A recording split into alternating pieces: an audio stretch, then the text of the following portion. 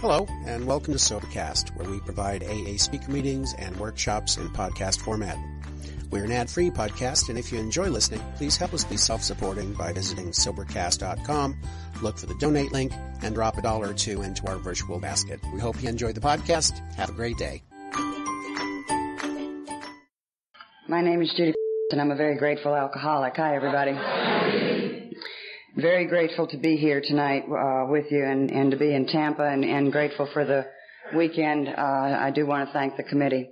Uh, God has a way of, of doing things for me that I can't do for myself, and I've had uh, a couple of weeks that have been uh, real rough. I'm not complaining; they've just been rough. They've been long weeks, and uh, and I haven't been able to get much rest. And uh, flew in here yesterday and uh, was able to to rest a little bit and then to enjoy today and enjoy the fellowship and being with people that I love to be with. Um, I love the program of Alcoholics Anonymous. I'm a believer in the program of Alcoholics Anonymous, and I'm a believer in the traditions, and I'm a believer in the steps. And uh, when I came to you, I was hopeless. Uh, the big book tells me, the instructions tell me that our stories disclose in a general way what I used to be like, what happened, and what I'm like today. And I try and hold to that format, and if I get off on a tangent somewhere, I find out that I don't get the feeling um, that I've done what God wanted me to do up here. So I try and stick to the instructions.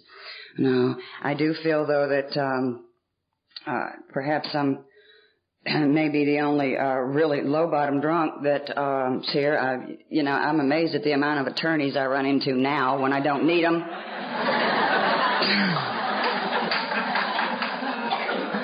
And you know, all of them seem so loving now. I, I don't know about you, but the ones I met when I was drinking weren't loving.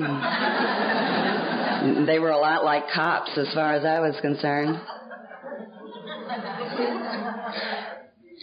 I have some very strong opinions about Alcoholics Anonymous, and sometimes that might step on some people's toes, and I wish I could tell you that I'm sorry, uh, but I'm not, because the, the program has saved my life. And I believe very strongly in what this program stands for and what we are to do here and what I've learned here. And uh, I'm not going to go a whole lot into my childhood. Uh, there's some things that I bring up, and perhaps some of you may find them uncomfortable, and perhaps some of you may find them even uh, distasteful. Uh, I've done as best as I could um, uh, to make it uh, uh, tasteful. but I grew up in an alcoholic home, and there isn't much that's tasteful about an alcoholic home. I try to use discretion uh, as best as I can. But I don't clean it up to the point that I don't recognize my own story anymore. You see. Um, I am not one of those women who came into Alcoholics Anonymous and decided after two years sobriety I was a virgin again.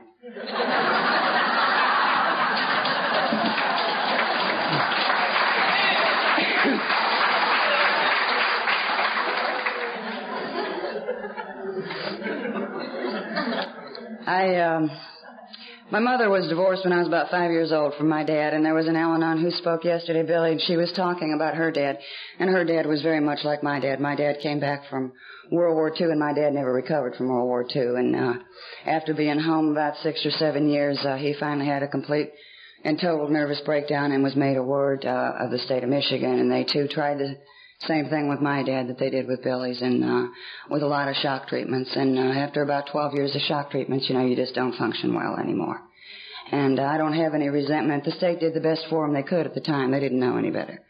You know, but he uh, remained a, a ward of the state of Michigan until the day he died. Um, because of this program and because of this fellowship.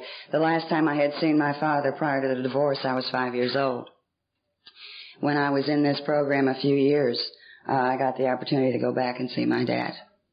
And, uh, and, and he knew because we had started, I had started writing letters to him shortly after I got sober. Now, and although he was not able to function, he could carry on a conversation and, and he could write letters. And, and because of the things I learned here, I was able to see my dad after 20 years. And that was wonderful. Um, speaking of which, my home group is the Carrollton Group in Carrollton, Ohio and uh, my sobriety date is December the 18th, 1972. And I was 23 years old, so don't calculate, I'm 44. when I got when I got to Alcoholics Anonymous, I was 23 years old, and I'm grateful for that. And I've stayed in Alcoholics Anonymous since the very first meeting, and I'm grateful for that as well.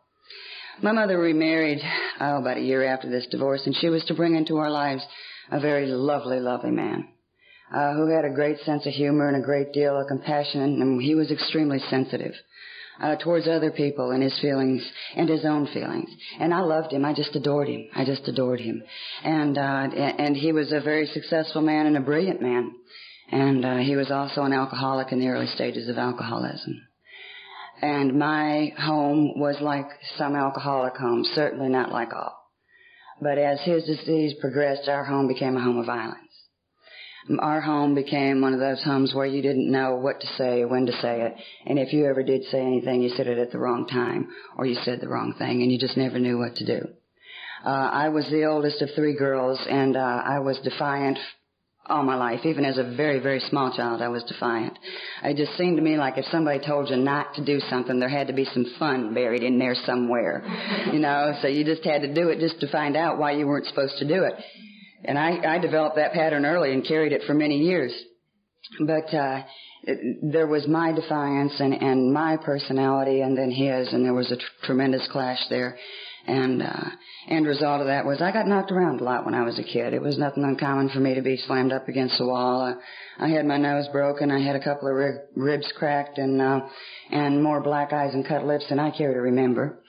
Uh, and I was also one of those kids, uh, one of the, uh, young women who was sexually abused. And, uh, I uh, bring that up because in working with women in Alcoholics Anonymous, I very often hear this, well, you don't understand. You don't understand why I can't stay sober. You don't know what happened to me as a, co- as a child. You don't know what he did to me. And you see, I don't buy that.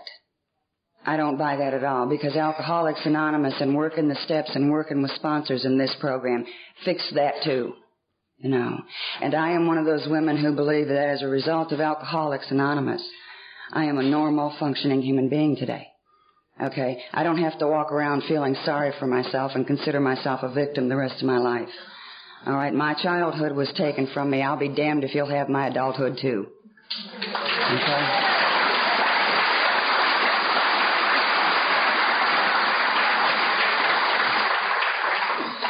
And those are the kind of things I get opinionated about, and I don't usually say damn from the podium, but it just slipped. I'm sorry.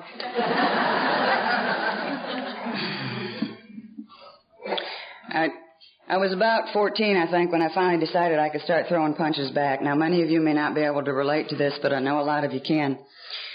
Because I threw that first punch and it hit my stepfather right on the jaw, and my God, I loved it. I loved everything about fighting.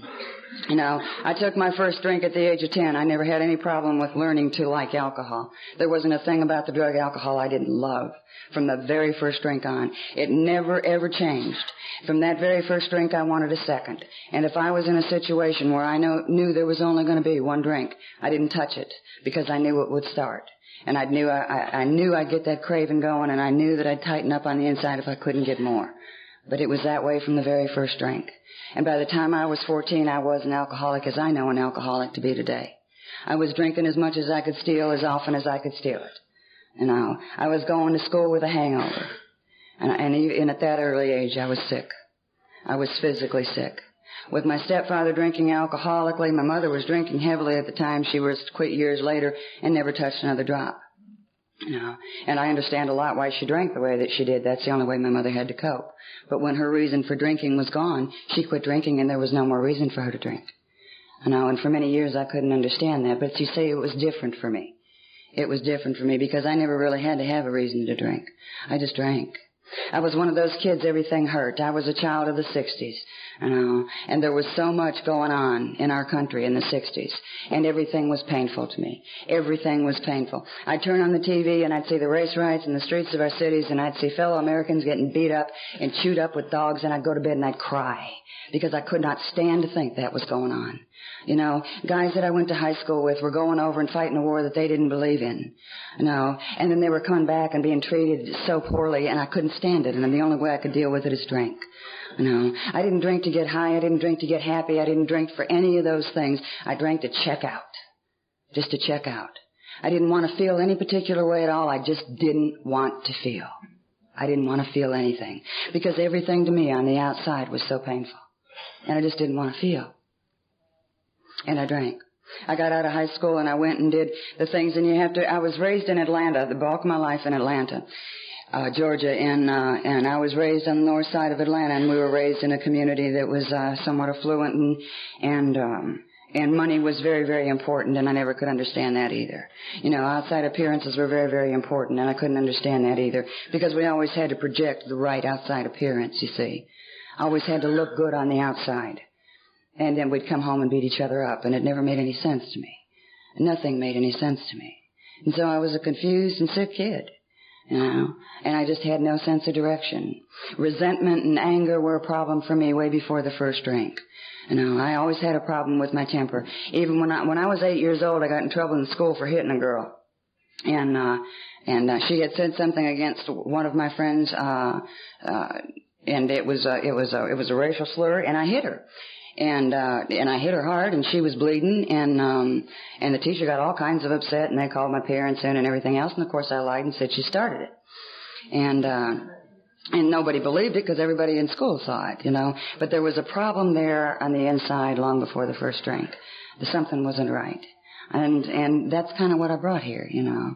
As time went on, and as I said, I got out of high school and I got a job, and I got a job that was respectable because I had to keep up that respectable image. I had to do those things that were considered right and okay. And I got a job in a very large department store in Atlanta, uh, Rich's, and, and I did very well there. And we alcoholics can do very well. You know, uh, we alcoholics fall upstairs. We're the only people I know of that can fall upstairs. you know, and, and, and, and I did, I did, uh, because I worked hard and because, and you see, I did work hard and I did do a good job, but the motive was wrong. My motive was I had to prove to myself I was okay. I had to prove to myself I was okay. It was not because I necessarily wanted to be successful, but I had to have some kind of concrete proof that I was okay. And so when I was promoted on that job, I was the youngest head of sales that Rich's had ever had. And I had 40 women working for me during the Christmas season, and most of them were two and three times my age. You know, and during regular season I had 20 women working for me. And I was doing fine. I was doing fine by all, all outside appearances, but inside I was dying, and you know that. Because inside what was happening, after I got off of that nice job and I went home, back then retail closed at 6.30, and I went home and I stopped at my favorite liquor store. And my favorite, I never moved anywhere where there wasn't a liquor store within walking distance. I know. And there was a liquor store and there was a bar that was right next to that liquor store. It was a wonderful neighborhood, the favorite, my favorite out of all of them I lived in. And the bar was called, honest to God, it was called the Hole in the Wall. That was the name of the bar. Real top-notch place. And, um, I'd get off of that bus and I'd go into my liquor store and I'd buy my quart and my six pack for the evening and I'd go home uh, and I'd start drinking. I'd start drinking before the only thing that came off before the cork was my shoes, and uh, and I'd pour that drink and I'd get started. You know, and I'd finish that quart off and I'd finish that six pack off and then I'd go up to the hole in the wall. Know, and I'd see which one I was going to fall in love with that night. Know, and I'd walk into that bar and I'd look up and down that bar stool and I'd see those same guys there. I don't know how many times. And every once in a while, we'd get a newcomer. And, um,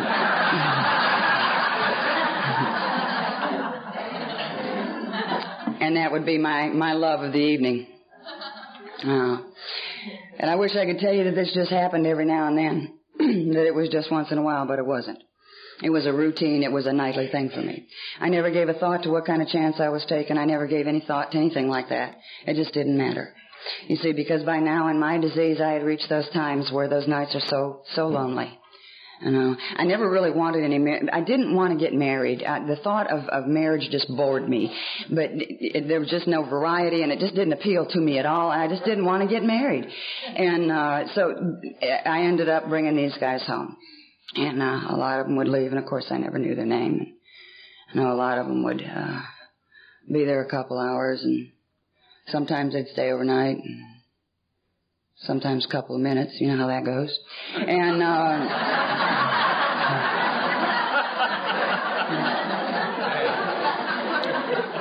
I always like to look over the audience when I say that and see which one of you guys are blushing.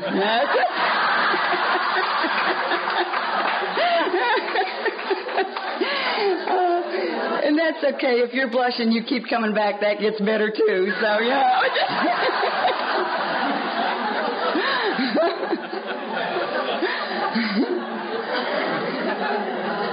oh, isn't that tacky? Um, uh, and you know, I knew too within myself that the way I was living wasn't right. And I think what's paramount for me when I look at myself in these years is that I didn't care. Somewhere along the line, I had just adopted the attitude of I don't care. It doesn't matter. And throughout my sobriety, that has been a danger sign for me. When I get to the point where I think it doesn't matter anymore. It's not worth it anymore. You know, because that's the attitude I lived in for so many years. It just doesn't matter. You know, I hear a lot of people say that they fought being an alcoholic, and and I can understand that. But for me, I knew I was alcoholic. Somehow, I knew I was an alcoholic. I knew when when I went out with my high school friends, I didn't drink like they did. Things happened to me, and I behaved differently than what they did. You know, they just they would go out and they'd get drunk, and they'd all laugh, and the next day everything was fine. And I never felt that way. You know, somehow I always felt guilty. I always felt remorseful. I always felt bad. My drinking was different. You know, my temper at this stage, right out of high school and up until the time I came into the program, was volatile and I was dangerous. And there was no doubt that I was dangerous because I didn't care. I didn't fight for the sake of fighting. I fought to kill you. You know, I was an animal. I was an animal. And this is the way that I lived. And I can remember I went home one weekend to visit my mom. And my stepfather was there, of course, and, and he said something and I was drunk and I remember hitting him and I remember the fight starting. And all I can remember is my two sisters and my mother pulling me off of him and my mama screaming, my God, Judy, you're killing him. My God, Judy, you gotta stop, you're killing him. You know, and that's all I remember. And I remember just sitting on top of that man with my hands around his throat and watching him turn blue and thinking to myself, die, damn you, die. And I got up and walked away. You know? And I can't, I, I cannot fathom being that sick. I can't fathom it. And I went and got drunk. Of course, what else would I do? What else do we do in those mornings when we get up and we look in the mirror and we know the way that we're treating the people we love and our friends and the people that we care about? What else do you do? You see, you can't live with the pain. You can't live with it, so you gotta start the whole circus all over again. It's gotta start all over again. You know, and so it was with me. And it did, I don't need to tell you that the job didn't last long. And I made a brilliant decision based on clear alcoholic thinking that I needed to go into the bar and restaurant business. and that business is what got me to this program at 23. I swear to you, that was a crazy, crazy business. In the city the size of Atlanta, what would happen is a new place would open up and everybody just kind of moved to the new place or the new area. There'd be a new section of town that would open up and it was, my God, Bill, how in the world are you, honey? I haven't seen this man down here for how many years? Seven? Yes. And he's from Atlanta. It's good to see you. Um, where was I? Were you listening? Thank you. but anyhow, um, Thank you. And so we'd go on. See, I used to sponsor her, so I know she's listening. Sweetie. Uh, we would we just pick up and, and go, you know, and the money was over in Marietta, so that's where you went to work, and uh, there was never any loyalty. It's where the money was, and we took off, know, and that's just kind of just like a bunch of nomads, just kind of working around the city of Atlanta. And, and I was working in some good places at the time, and as the drinking got worse, the places got worse. You know, and I started having to take jobs where you worked for tips only. And I started having to take jobs in places like the Blue Cockatoo. You know, and the Blue Cockatoo, if there wasn't at least three fights every night, something was wrong. I know there was something wrong with the place. It was a rough place and it was nothing to be in there on on a, on a weekend night in particular, and somebody break a beer bottle and come after somebody else, and you're carrying a tray of drinks, and you just learn to duck and keep right on working. You know, and the fight's going on around you because that's the way it happens. And the gal that owned the place was a big gal, and she could pretty well break up any fight that started anyhow. So none of us ever worried about it because we knew Lou'd take care of it. You know, and we just kept right on working. And I was drunk all the time. Just all the time. Things got so bad for me physically, I couldn't show up for a job even like that anymore. Even in a place like that, I just couldn't do it. And by now, you see, I had just turned legal age to drink, you know, in the state of Georgia. And I was a wreck. The shakes had been a problem for me since I was about 17 years old. It was just no big deal for me. It was part of it. All of it was part of it. I know. And I'm, I can promise you right now that today, if the only thing that ever got me here was physical, I wouldn't have stayed. No, I wouldn't have stayed because the physical was just routine for me. The getting up, being sick, that was just routine. That was nothing. I mean, if you drank the way I wanted to drink, that's the price you had to pay, and I was willing to pay that price. It just wasn't that big a deal to me. You know, but it was, uh, what kept me here on the onset was the fact that I may have to go back out there and live. And live through all that garbage again and again and again. That's what kept me here. You know, and things got worse. And they got worse, and the fights got worse, and they got more frequent, and I got more like an animal. You know, and as much as I'd want to get up and I'd want to bathe and I'd want to clean myself up, I just didn't have the energy. And as much as I wanted to get up and I wanted to clean up the apartment and change the sheets and empty the ashtrays and have the place looking like a human being living there, I just didn't have the energy. I'd get up and I'd strip those sheets that'd been on there God knows how long, and and I just didn't have the energy to put new ones on, you know. So I just slept on the mattress because it just wasn't there. I wanted I wanted to be different, but I didn't know what else to do, and I just kept drinking. And it, as I said, it got to the point where I couldn't tend bar anymore, and then couldn't work as a cocktail waitress anymore, because I just didn't have the strength to go into work. No matter how hard I tried, it just wasn't there. And I called a guy I had known in the bar and restaurant business, and I went to work as a prostitute, as a hooker on the streets of Atlanta, because that's all I could do. I didn't have any choice. And a lot of times when I share that at a meeting, you'll see mixed expressions because some people feel very uncomfortable about that.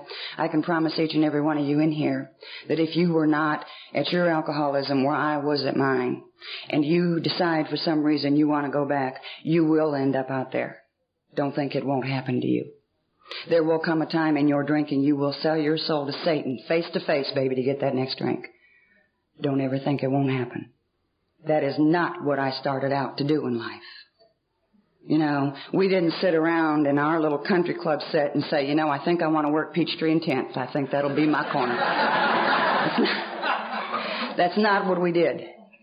You know, and that's not where I was headed, and that's not what, that's not the way it was supposed to be. But again, you see, by the time I got there, it didn't matter. It just didn't matter. No. Recently I went to a meeting, and this troubles me, and this is why I'm going to share it. Recently I went to a meeting, and unbeknownst I am relatively new to Ohio. I've only been there like, well, it'll be a year. But, uh, the groups there, it's all uh, speakers meetings. And, uh, there was a young lady sitting there at an anniversary. And, uh, I didn't know her. She didn't know me. And she's sitting talking with another young woman. And she said, you know, I've heard an awful lot about women in Alcoholics Anonymous standing behind the podium and saying that they were whores.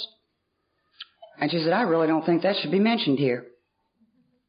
And y'all would have been proud because I didn't reach across the table and slap her. It just.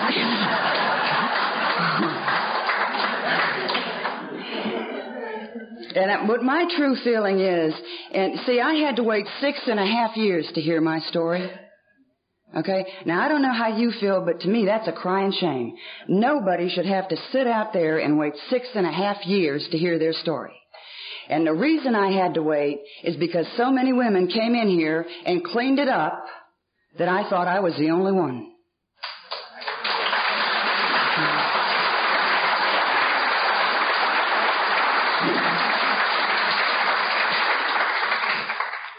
And that, see, do something, please, for, for yourself and for Alcoholics Anonymous. Don't you ever clean up so well you forget where you come from. Don't ever do it. Okay. I sat out there thinking, you know, you won't accept me if you know what I did. You won't accept me. Know, uh, if you knew what I did. And I kept waiting, and I kept waiting. And only because of the love of a lot of men in this program, okay, they kept telling me, Judy, come back. There were two guys that were my sponsors. You're going to hear your story someday. And I believed them. And I believed them. And like the other things, they didn't lie. It took six and a half years, but by God, I finally heard it. You know, and I happen to know there's more than two of us in this program.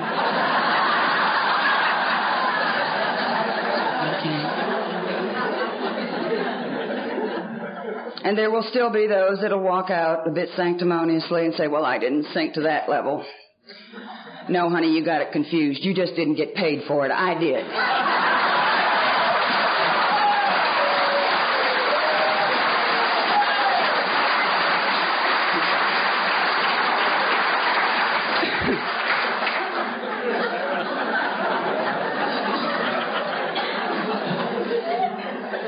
That's one of those things I'm a little opinionated about, in case you didn't pick up on it.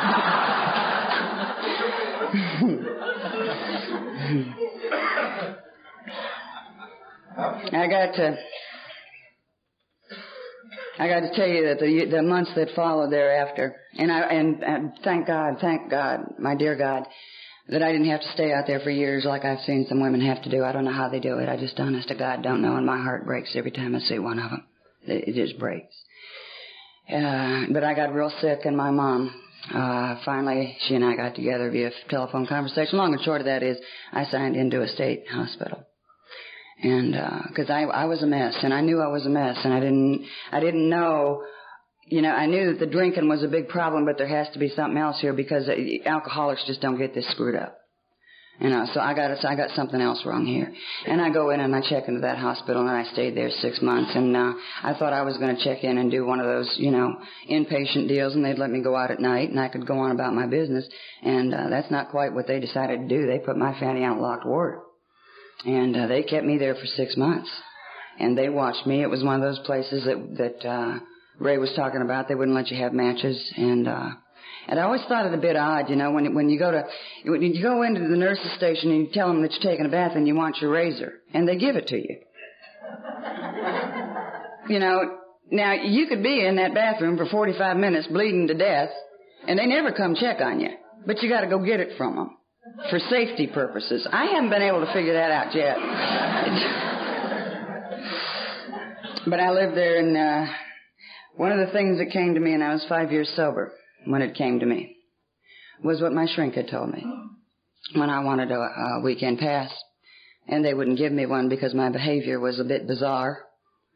Um, I had threatened another one of the patients there. I don't remember what she did, but I remember it, it was reason enough for me to want to kill her.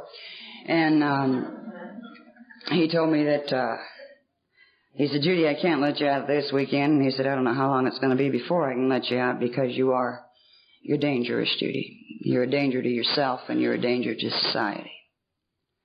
And later on, through some talking and listening, I was to find out that when I was locked up in there, they didn't put me in there for alcoholism. They put me in for being suicidal, homicidal. And those kind of people are the kind of people that will walk up to you and shoot you and turn around and walk away. And that's how sick I was. I had no respect for human life of any kind. For nobody because so many years I had cut off so many nerves so that I wouldn't feel anymore, that I had gotten to the point where I was totally and completely unfeeling. I conditioned myself to do that. Some of it, yes, was out of survival for me. Okay. I could not feel. It would be dangerous for me to feel. Some of it was out of just, I had to in order to just keep enough going to function. Know, and that's hard for me to believe. That's so hard for me to believe through a series of con jobs that I ran very well. I got a three hour pass from that shrink about a month later to go get my winter clothes from my mother's home.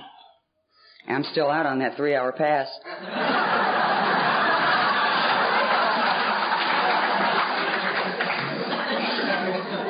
and I had uh, I had a man waiting for me at the gate, and, and he had uh, I believe it was three quarts of black velvet Canadian blend and two cases of Miller High Life and I don't need to tell you what happened. But it was some time later, my mother and I have tried to put this together, and as best as we can tell, it was 10 to 14 days later after I was reported as missing, uh, that, uh, somebody brought me over to her house and poured me off in her den. And she was to come home from work that day to tw- find her 23 year old daughter 10 to 14 days without a bath or a change of clothes, stinking from booze and sleeping with men. And that's what she found. We have a, a step that deals with the amends in this fellowship. And for what I put my mother through, saying I'm sorry is not enough. It is simply not enough. Now it may be enough as the book reads, but for me it was not enough. And I had to find a way somehow to let her know I appreciated her love once I got sober. You know, and that I truly was sorry for the type of daughter I had been. And I had to find something that I could come to peace with. And the only thing that I could do, through a lot of prayer and a lot of talking to sponsors, was that I made the decision that on a daily basis I would be the best daughter I could be. On a daily basis I would let my mother know that I appreciate her. And every time I had the opportunity to be a good daughter, I would be a good daughter. And I am happy to say I've been able to do that. I have been able to do that. And there are little things that we can do to make up for some of the things that we did. You know, we'll never balance the scales, of course not, but we can do those things. And I, uh, one of the, my things is listening to my mother to, uh, talk. My mother gets on the telephone and she'll talk about things that we've talked about, you know, for years. And, uh, and, uh, and she, I'll ask her what she's having for dinner. And it's just, you know, it's just a simple question, Mom, what you having for dinner? And she's going to have roast beef. And she has to go through the whole recipe all over again. Now, I've been eating her roast beef for 44 years. I know how she fixes that roast beef. But and I love to listen to her. And she talks. She called the other day from Atlanta, and she was all upset because her little Pekingese had died. And and I, I'm a dog lover, and I, I knew what she was going through. But it was nice that she called and she wanted to talk to me about it. And when I was not home, when she called the first time, she told Craig, she said, "Please make sure she calls me. It's very important." And it was important. And it was real important to me that she knows that it was important that I call her. You know and I felt like a daughter, and I felt like a good daughter.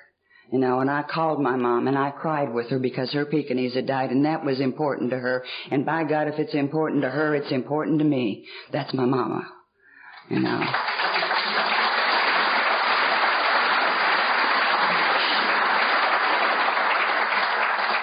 Do it every time. I knew it. I knew it. Uh, so I was glad that I could be there for that.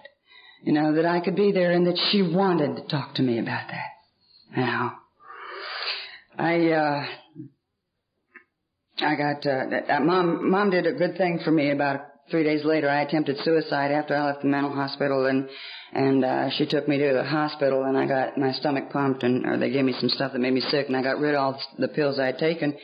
And, uh, then, uh, three days later, mom threw me out. And she told me to pack my bags and go. I was no longer welcome in her home.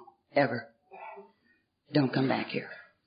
And I can remember the look on her face until the, to this very second I can remember the look on her face. And you have seen the look on that face of the people that loved you. I am totally disgusted with you. I love you and you are part of my heart. But get out of my life. And you know what that's like. And I remember feeling the anger towards this woman and I remember the, the cruel words that I said. And I remember leaving and the way I felt and I went to stay with the last person in the world who'd have me and that was my cousin Joanne. And the long and the short of that is inside three weeks she said, you gotta pack your bags and go woman. I've never seen anybody drink like you.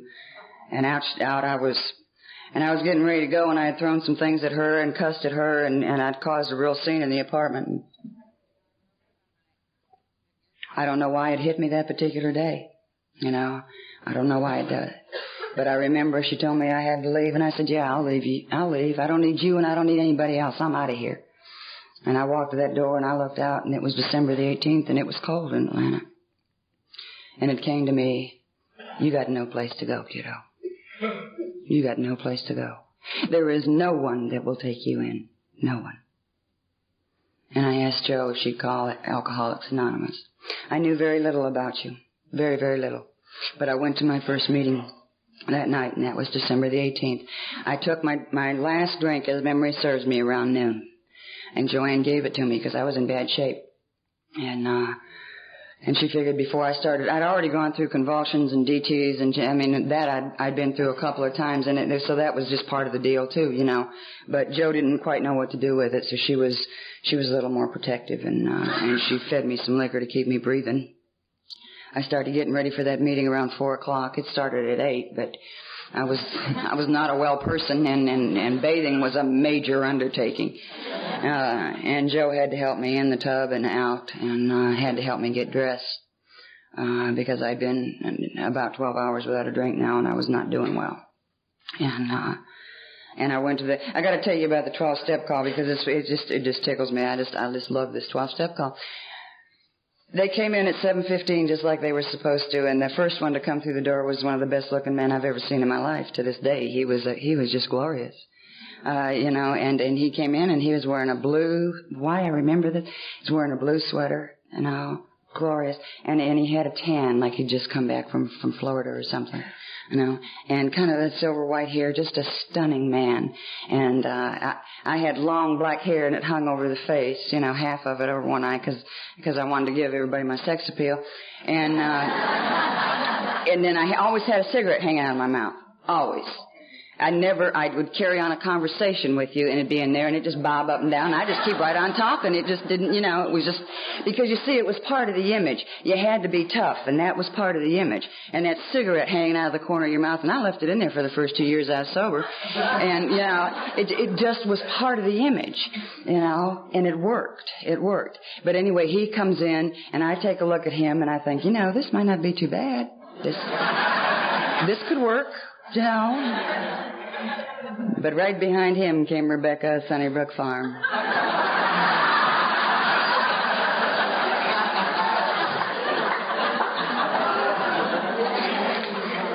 she came in and she had a cute little lace collar on, you know, white collar, a brown princess coat with a little brown velvet collar, itty bitty little heels. You know, I hadn't worn anything under three and a half inches for years.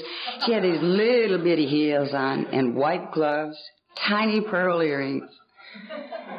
And I looked at her and she reached over with a smile that went from ear to ear and said, Hi, my name's Bunny. I, oh, God.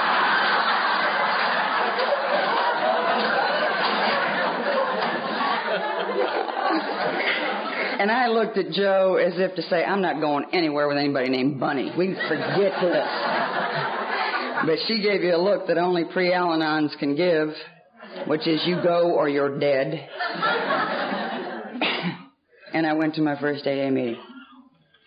At the end of the meeting, they had gone around. It was a discussion meeting. And at the end of the meeting, they asked me a very important question. They said, Judy, is there anything that you'd like to know about us? Do you have any questions? About us. And I said, no, no, I just don't want to drink anymore. I am sick to death of being drunk. And with everything I had in me then, and with everything I have in me today, I am sick to death of being drunk. I was sick of waking up in places that were filthy just filthy. I was sick of not being able to take care of myself. I was sick of being irresponsible. I was sick of the life I was living. I was sick of being an animal. I was sick of the whole thing. I was worn out. I was 23 years old and I'd fought an 80 year war out there, man, and I can't take anymore.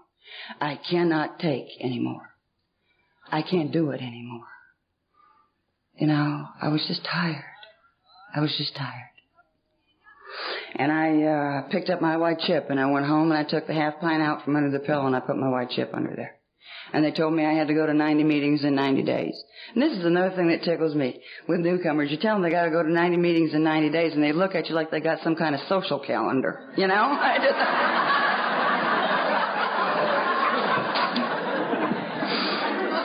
You're a drunk like I was. You're not going anywhere. It's not like you've got dinner plans or something. they find all kinds of reasons. Well, I don't know if I can work that in. I'm not working, but I don't know if I can work it in.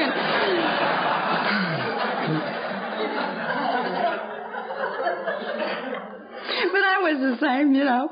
But they tell me I had to go to 90 meetings in 90 days. And I believed them. And this is another thing to me that's a miracle of Alcoholics Anonymous.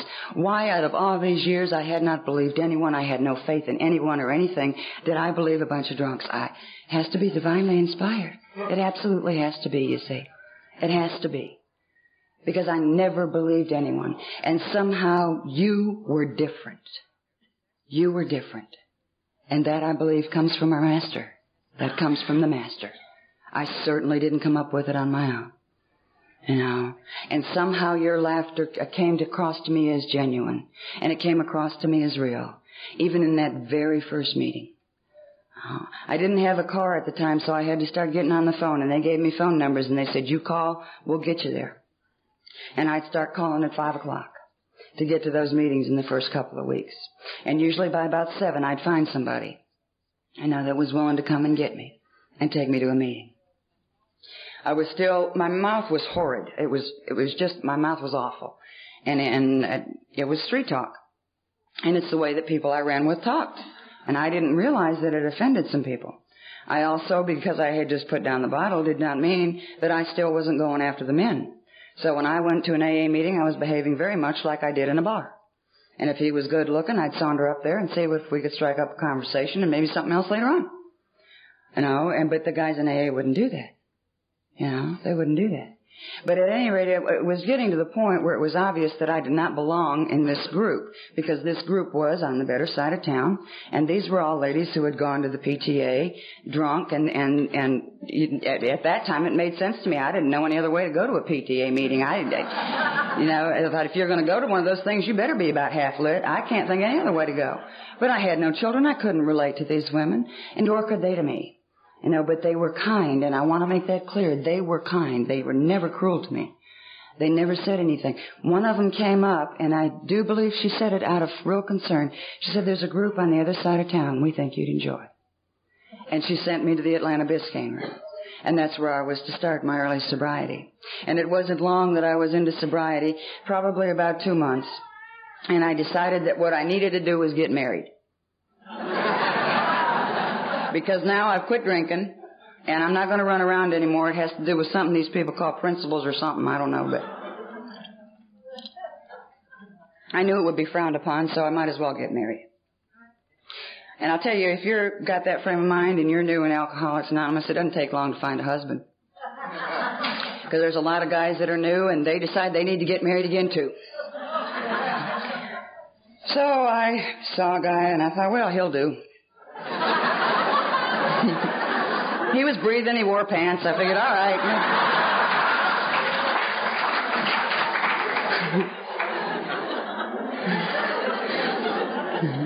and we got married. And I had four months sobriety, and he had five months sobriety. and long and short of that, marriage lasted two and a half years. Uh, I didn't drink. Uh, I'm afraid he did. Uh, he really, I don't think he ever quit. Uh, but I must tell you, he was, a, I can't speak badly of him really. Uh, Ronnie was a good boy. He was a lot of fun and, uh, and he, but that was just it. He was a boy. Uh, he was 42 years old and he was a boy. And, uh, after I started getting sober, I thought, you know, I, I gotta start doing something else here.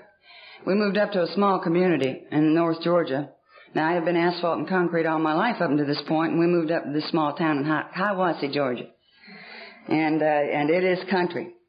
And I was about a year sober, I guess, and my mouth hadn't cleaned up real well. And I was still wearing the same garb that I wore on Peachtree and 10th. yeah, walking down the main street of Hiawassee, Georgia. God. That cigarette's still dangling out of the corner of the mouth, man. I saw a guy at a conference about six years ago and told that story. And he said, Judy, I got a, I got a cousin lives in Hiawassee, Georgia, and they're still talking about that woman from Atlanta.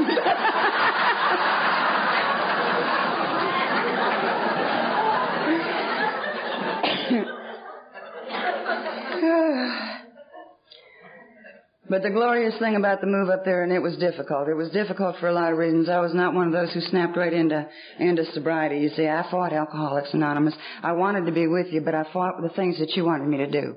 I just didn't want to do them. You know, and there was a lot of strife and a lot of guilt and a lot of fighting and just a lot of misery on the inside. You know, and we moved up there and the meetings were few and far between. We only had two meetings a week and they were 30 and 60 miles away and we were broke. And when you looked at going to a meeting, that meant you were going to skip one meal during the week because there wasn't the money to have them both. And those are tough decisions to make. And so there were some weeks I didn't go to a meeting. And what I did is what people in the program told me to do. I got into the literature of Alcoholics Anonymous. You know, I got into the Came to Believe. Okay, I love that book, and I began to read that. I never did do real well with with the big book until I was about five years sober. I don't know, I just couldn't get it. But I got into the twelve and twelve, And I read that and I read a lot of As Bill Sees It. And I hung on to those and those books were my meetings because that's all I had and God, I didn't want to drink. I didn't want to drink.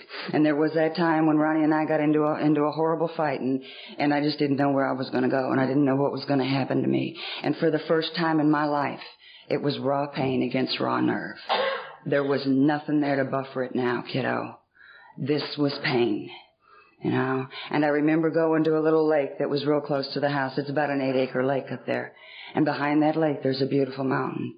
It's just glorious. And I was hurting unlike I'd ever hurt before. And I remember looking up at the top of that mountain and I remember saying, God, I don't know if you're up there. And I don't know if you can hear me, but I got to have some relief or I'll drink again. And I don't want to drink again. I just don't want to drink again. And the feeling that came over me was so profound because it was just as though there was a good friend sitting next to me who patted my shoulder and said, You're going to be okay, kid. You're going to be okay. You uh, know? And when I got up from that little hillside, for the first time, I was 20, 24, 25 now, and for the first time in my life, I knew I was a child of God. The very first time. That it mattered not to him what I had done. It didn't matter. Somehow in my innermost self I realized he wanted happiness for me. That is all he wanted for me. You know. And I was a child of God. And although it was one of the toughest days in my sobriety, it was one of the happiest. Because I knew somewhere, something out there loved me. Something. I had two male sponsors when I came into the program. I did not ask them to be my sponsors. I wouldn't do that. But these two guys were men who believed in the steps of Alcoholics Anonymous. One was Big Jim and one was Dad. Big Jim had 12 years and Dad had eight in the program. And for whatever reason it was, they took me under their wing and they began to teach me about Alcoholics Anonymous. Now they did this prior to my going to Hiawassee. You know, but they were loving and they were caring and they were giving men. And the thing that they did that I remember that was so important as far as members of Alcoholics Anonymous, they didn't walk by me with a flippant, well, read your big book. They walked it. They took me to meetings and they took me to their homes where I could see how they were living Alcoholics Anonymous. I remember one day I was crazy. I was absolutely crazy and I was shaking and, and I had been sober a while. I mean, long past the time when I should be shaking and sick and dizzy.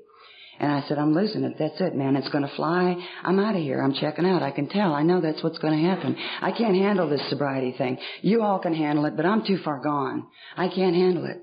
No. And Jim took me in his car to his home, and he and his wife sat with me all afternoon and they gave me iced tea and we talked. And we talked and somewhere along that day and that afternoon, things on the inside started to settle. You know, and I thought maybe I can make it one more day. Maybe one more day. You see, Big Jim and Dad knew Alcoholics Anonymous.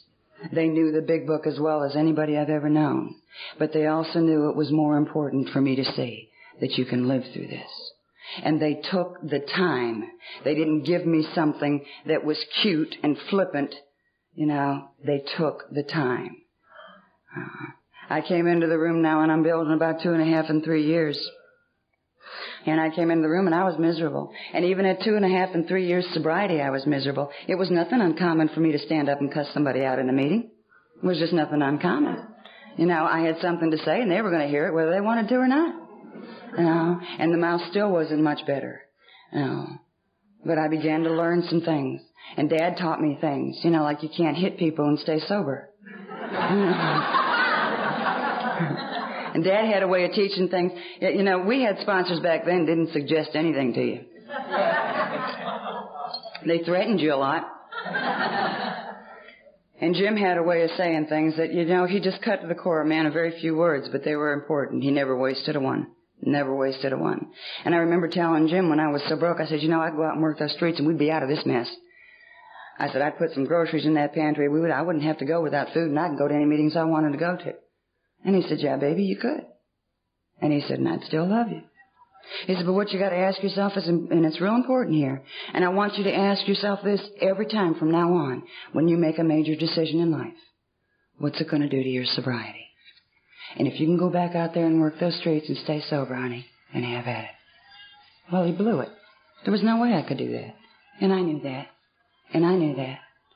I went through a period too, right around two and a half and three years. My God, I was going to get good. Oh, I was, I was so scared. And I went to Jim and I said, Jim, you know, I start working these steps and everything and I start taking this inventory and I start talking to God. And I'm going to end up one of those tight-lipped, blue-haired old ladies that just walks around going,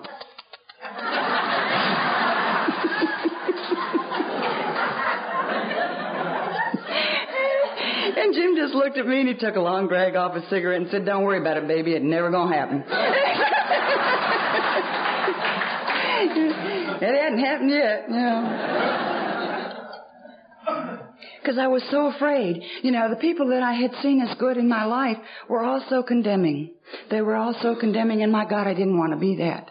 I didn't want to be that. And if that's what it meant, I didn't want to be that, and I didn't know what else to do. And so I went to the people who knew. You know, I went to the people who knew. And I think each and every one of us have our purpose in Alcoholics Anonymous. And I know that part of the Big Jim's purpose and Dad's purpose in Alcoholics Anonymous, you know, was to be there when I got there. Let me share something else, and this is exact, this is only for the gentlemen, okay? When the, a woman comes in, and she's a young woman, and she comes from where I come from, and you're looking at her, and you know it took her three weeks to get those blue jeans on she's wearing, you just remember there's 12 steps to this program, baby, not 13. Don't you forget it.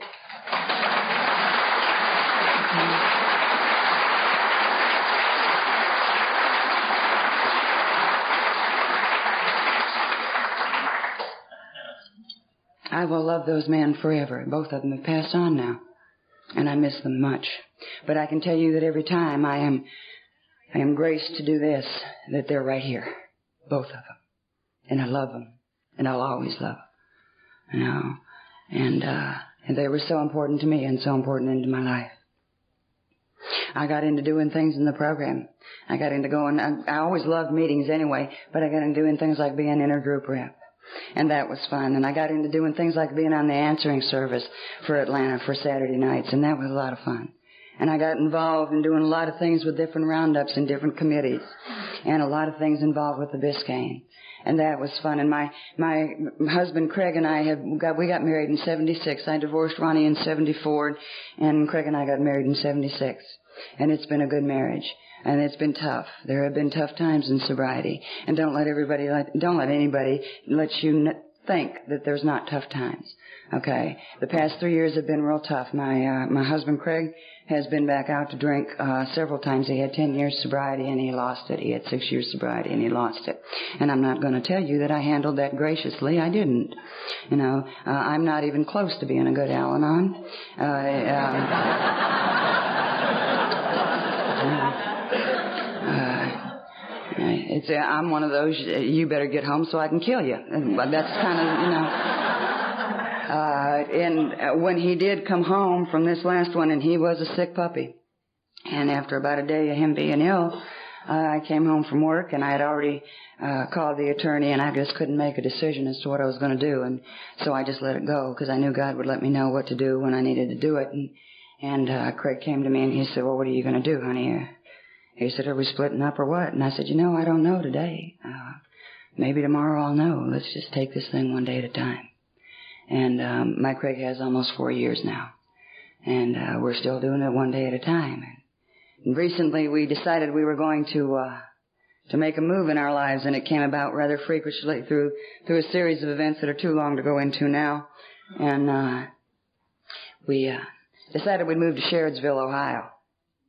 Now, I've been asphalt and concrete all my life. Sherrodsville, Ohio is not as large population wise as a subdivision I lived in in Atlanta.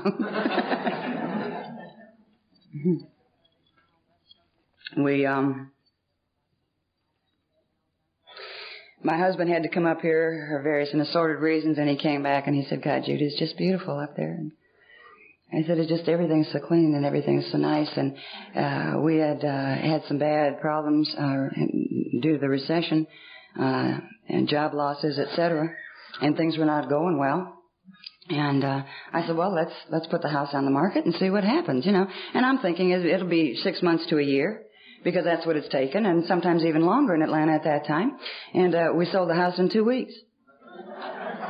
And uh, it was a, a very unsober thing. We, we went ahead, we sold the house, we moved to Ohio. Neither one of us had a job, uh, no place to live. We stayed with uh, with my brother-in-law and his wife, and that was really wonderful. We had a wonderful month and a half with them, and I was a little anxious. I didn't know how that was going to work out, but uh, it was nice. You know, it was nice to be with them, and and it was peaceful, and I enjoyed it. And we ended up getting an old farmhouse at auction, and I'm talking an old farmhouse. Uh, you know, that that I called the guy that used to live there, and his name's Ray, and I said, Ray, do you have any idea how old the house is? And he's he's a good old country boy, and he said, well, Judy, he said, my family moved in there 52 years ago, and hell, that thing was old then, so I'm not. but you know, we were living in a small farming, very, very small farming community, and and you know, it's just another thing that Alcoholics Anonymous has allowed me to do. And what Alcoholics Anonymous has allowed me to do in my life is absolutely fascinating. It's absolutely fascinating, you see, because I've been able to experience so much and meet so many and talk to so many. You know, and there was a time in my sobriety, and I, and I worked for temporary service for a long time. Works out real good if you got a bad temper. And um, you laugh. It kept bread on the table for two years, man. It worked out great. And uh, so I, I got to work in a lot of different industries and business, and that was and that was good. And then I got on with the firm, and and I was with them for a long period of time, and uh, I established a good rapport with them, and I established a good record with them, and uh, worked my way up. And I was in sales for about seven years, and did very well in that field, and I loved it. It was in information processing, and that was fun. And uh, then they asked me to come back to them after I had left, and they asked me if I'd come back and be their uh, Region, Southeastern Regional Manager, and I was their Southeastern Regional Manager for uh, about a year and a half, and that was a lot of fun. And it was something different, you know, something that I never would have had without Alcoholics Anonymous. Never would have had that.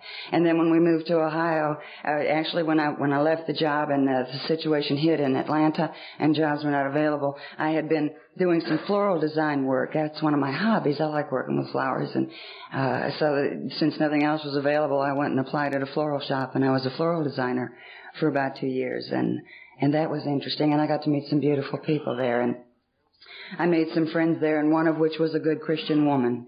Okay, now I had never really known a good Christian on a one-to-one, you know, uh, and, and and she and I got to talk a lot about different philosophies, and she knew I was in the program. And as a matter of fact, the pin I have on tonight was a going-away gift that she gave to me because we established a friendship, and I loved that woman very much.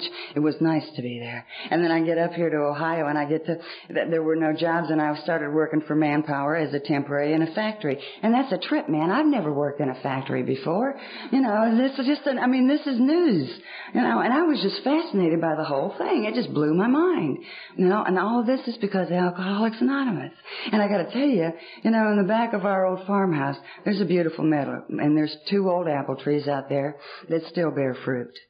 And, uh, I got up, oh, I guess it was Thursday morning, and I looked out that back window, and, uh, there was a doe and her two fawns out there feeding and I just died.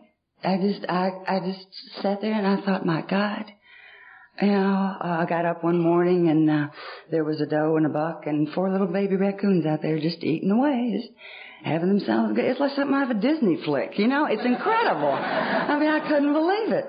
You know, I just couldn't believe it. And we got to Craig and I got to be, which I just blows my mind, but we got to work um, uh, for the Dellroy County volunteer fire department. Yeah, and uh, we they had their their annual carnival that they have every year, and it was our side of the roads turned to work. That's how they divide it up. so the neighbor came over and he said, "It's our side of the road, so we got to go down to Dellroy tonight." Now Dellroy consists of a Dairy Queen, a bank, and a gas station. But they set up a carnival down there, boy, and things are popping in Dellroy for three nights, you know. And uh, and I got to go down there. They allowed me to work in the uh, cutting the pie section. And um and you see what was nice about that is I'm part of a community now. You know, and I want to be part of a community now. See, that's what you all have given me is that I want to be a part of. I'm not afraid to step out anymore and live. You see, I want it.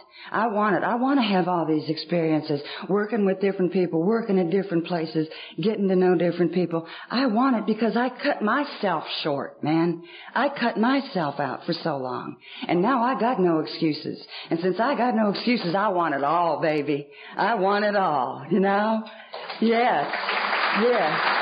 It's beautiful. It's glorious. It's glorious. We got about four acres out there, and Craig says, "Well, what are you going to do with four acres?" I said, "I want to raise buffalo." you can raise buffalo on four acres. Two head, but you can raise buffalo. now, I don't know what we're going to do, you know, but it matters not. I want to share with you two, three more joys, and then I'll sit down. Working with others in the Fellowship of Alcoholics Anonymous. Glorious gift. Glorious gift. One of the best. I am a little bit disturbed because periodically, and more so here lately than what I used to see, I am seeing where long-term members are deciding they need something more than Alcoholics Anonymous. I don't understand that. You know, and I suppose that I should say it's okay, but I don't believe it. I don't believe it's okay. Okay, my feeling is it's the height of selfishness and self-centeredness to come to Alcoholics Anonymous, get your life back in order, get the things that you want, and then say bye-bye, folks.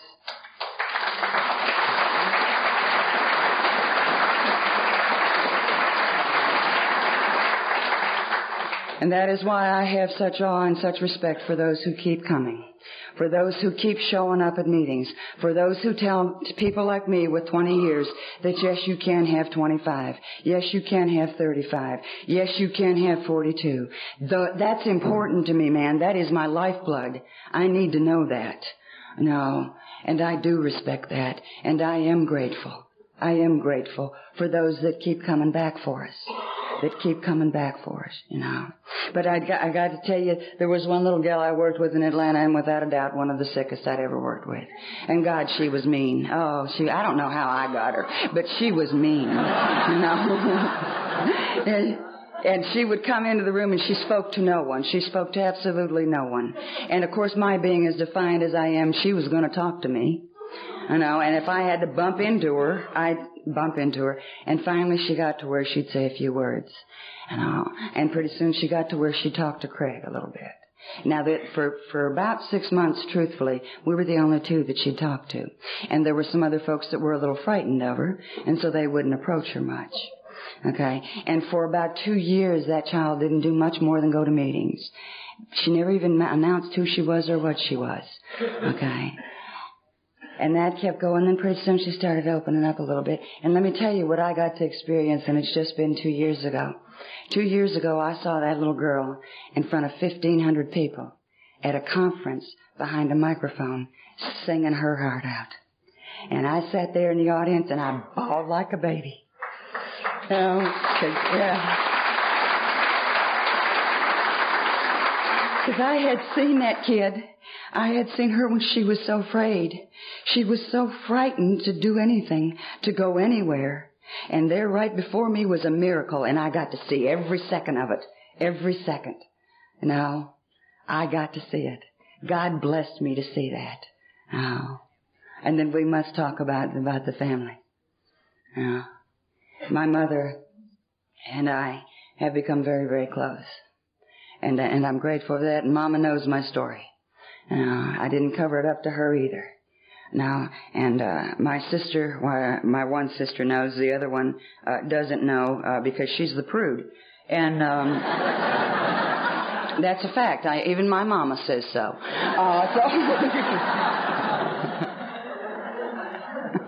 sometimes I look at her and think, God, why don't you drink? You know, it just.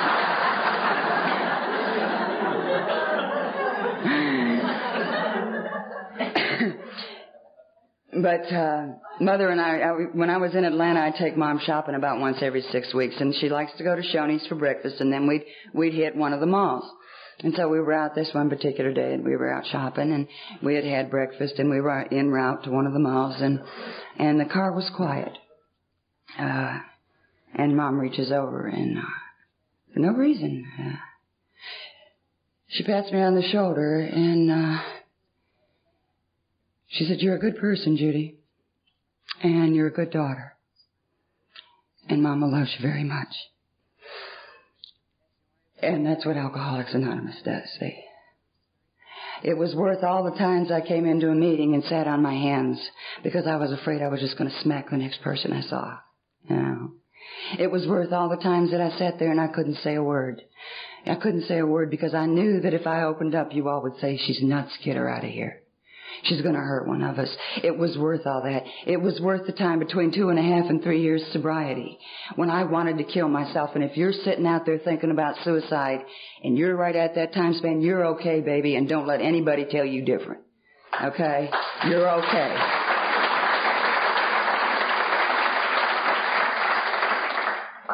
You see, because the joy of that, and think about how important this is, please. The joy of that is you're not thinking about drinking. See? And for the alcoholic, that's what's important.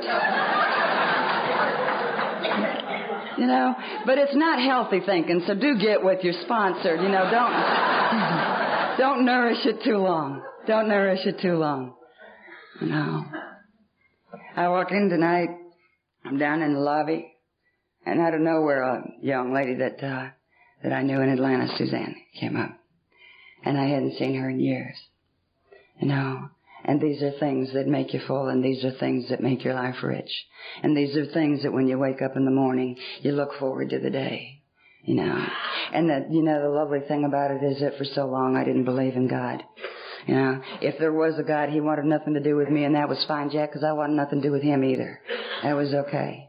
You know, and I almost hate to admit this. I really do, but I've been going to church lately.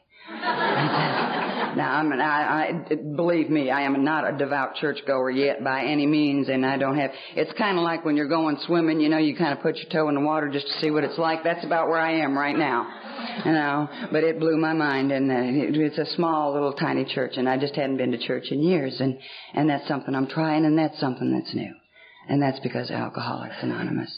I brought to you a bitter, cold, hateful woman who wanted no one's love and who wanted to love no one. And that's what I had made up my mind. That's what I was going to be. I brought to you a woman who had decided she was going to die drunk. Somewhere along the line, I decided I would die drunk. And somewhere along the line, I decided that would be okay with me. And that's what I brought to you. That's what I brought to you. If I have said anything good tonight, it is because I've learned it from you. I didn't say it on my own. I knew nothing about living. I knew nothing about loving when I got here. Nothing. Absolutely nothing. You did this. You did it. So if you don't like what you see, it's all your fault.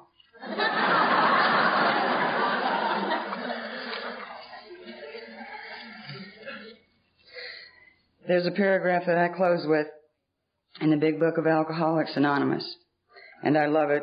It's my favorite. And if you don't know where it is, you read the book till you find it. and the book says, abandon yourself to God as you understand God. Admit your faults to Him and to your fellows. Clear away the wreckage of your past. Give freely of what you find and join us. We shall be with you in the fellowship of the Spirit, and you will surely meet some of us as you trudge the road of happy destiny. May God bless you and keep you until then. Thank you all very much.